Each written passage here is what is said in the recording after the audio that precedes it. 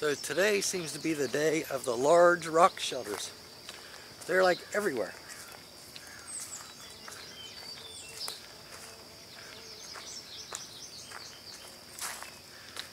I mean, could you imagine back before civilization exists as we know it?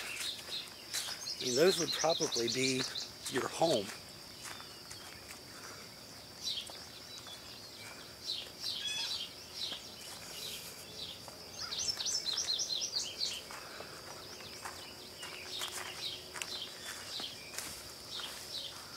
I think uh, yesterday's trail log ended up being, uh, oh wow, there's a cave. They got it blocked off. See the bars?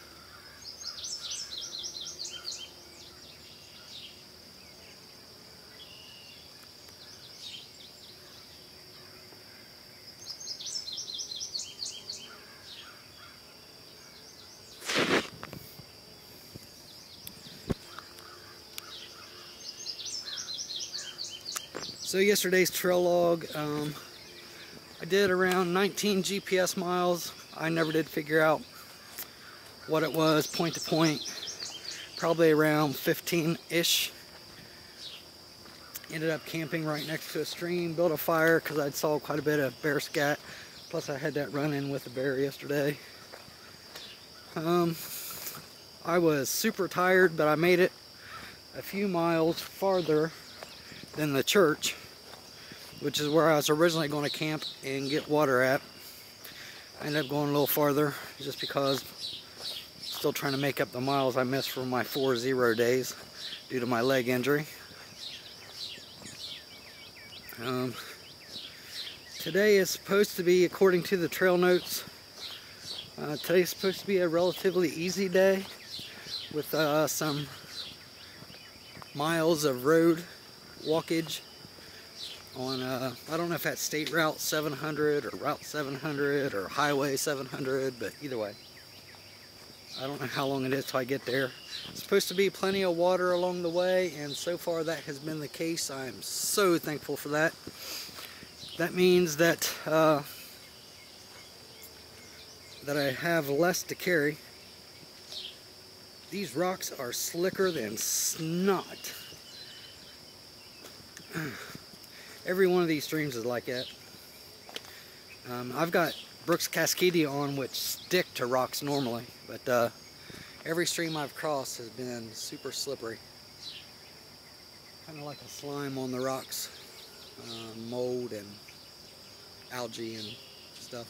So here's a hiker tip. Um, the way that I carry my water is so I don't have to carry as much. Um, I don't fill my bladder all the way full. I put like a liter of water in the bladder and then I carry a smart water bottle either half or all the way full. Now when when I'm short on water I keep the smart water bottle clear full so I have a full liter backup and when I have plenty of water I only keep a half full and what this does is I know that I can go about four hours on one liter of water on average. Temperatures the way they are right now. Uh, less time than that if it's hotter outside, so above low to mid 80s, reduce that by half, so two hours for a liter. But, uh, so anyways, the reason why I do that is when I run out of water in my bladder, I can filter the water that's in the smart water bottle and then that gives me some time to find water. And it's very efficient that way. Um, that means you don't have to carry more than you need. You know, if if I'm carrying a full liter of water and the temperatures are in the 70s in the smart water bottle, I've got, you know, four hours to find another water source. And if it's half full, I got two hours. So uh, that's kind of hiker tip. I've been thinking about putting together these hiker tips. They'll probably be separate than the video. Some kind of noise up in here. Um, so I'll probably include this in the Sheltowee video, but I'm also going to start a section hiker tips.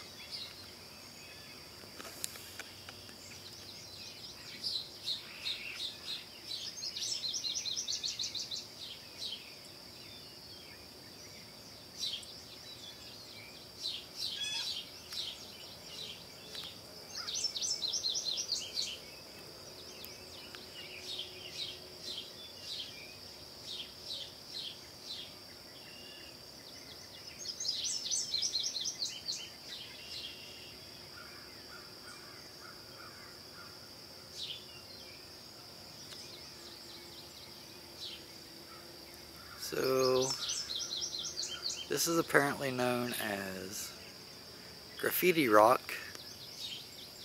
Unfortunately, you can see it in the pictures, but not.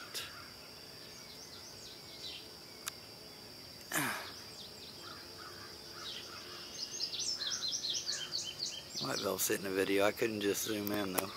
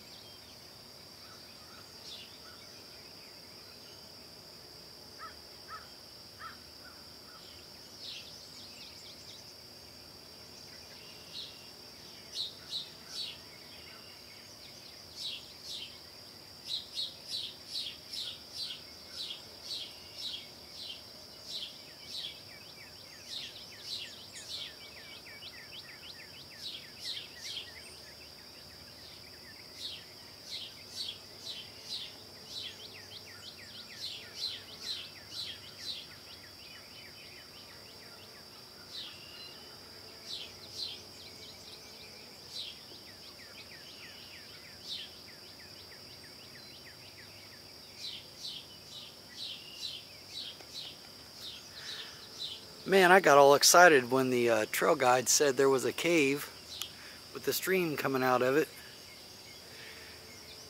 And then of course it's blocked off.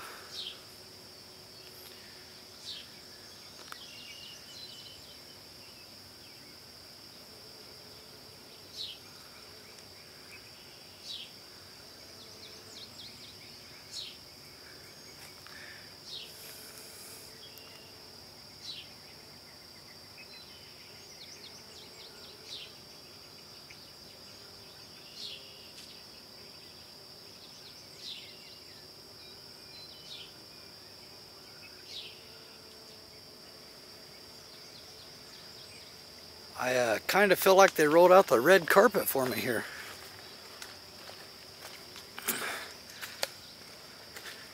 This is a huge improvement, by the way. This is the second bridge like this that I've run across.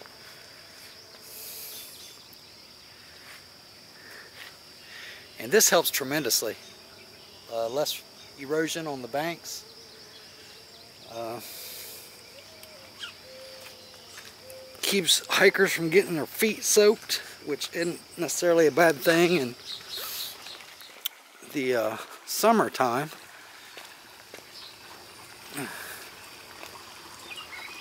Six twenty-four.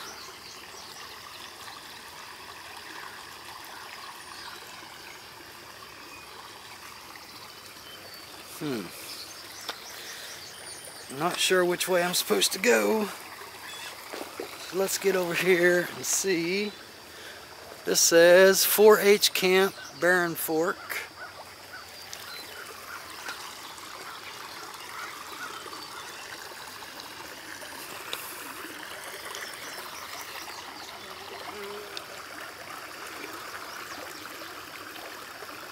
Well, let me get the trail guide out and let's see what it says.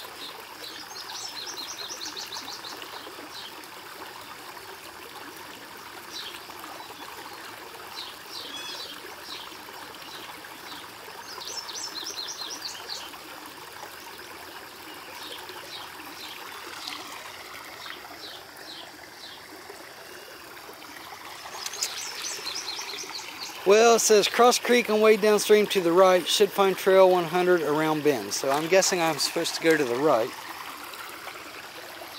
Also, those rocks right there tell me that this way is likely the path most traveled.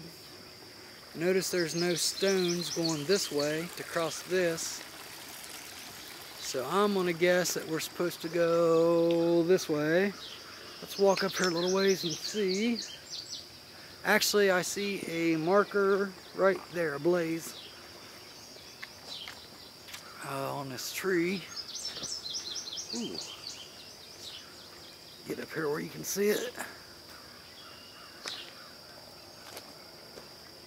Can you see it?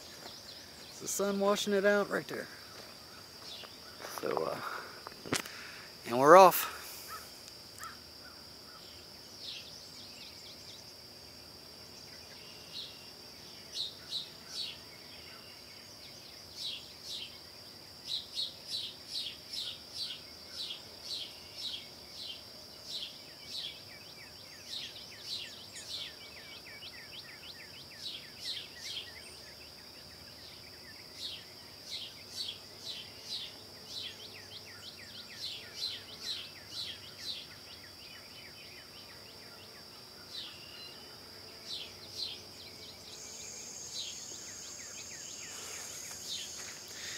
There's actually been a couple areas like this. I've just, uh, I keep getting uh, sidetracked. Blowdowns and things make it look like you're going the wrong way. Huh. And uh, it actually said, bear track, it actually said in the uh, trail notes that this was kind of a difficult section of the trail very confusing. There's been some reroutes and things. Horse hooves also. So, uh, I guess that's contributing to it overall. Uh, you can't really see.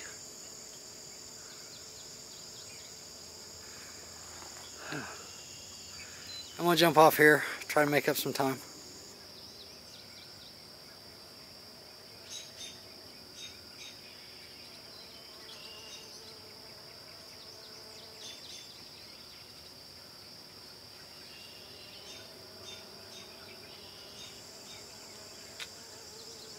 I kept seeing this intercrevice in the uh, trail guide and uh, wasn't really sure what that meant, but now I guess we know.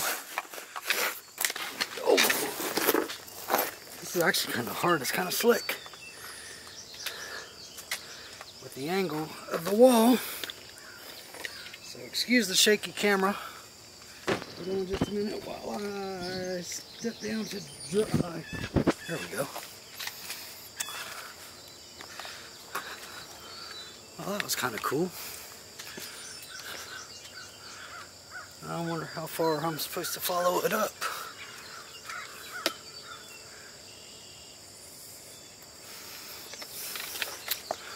See if my tracking skills can help me out here. I still see worn rock.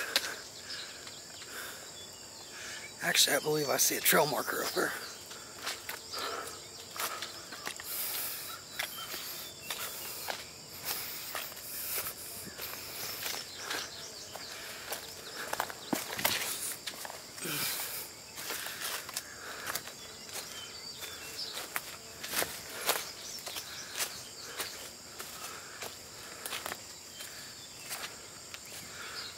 Huh.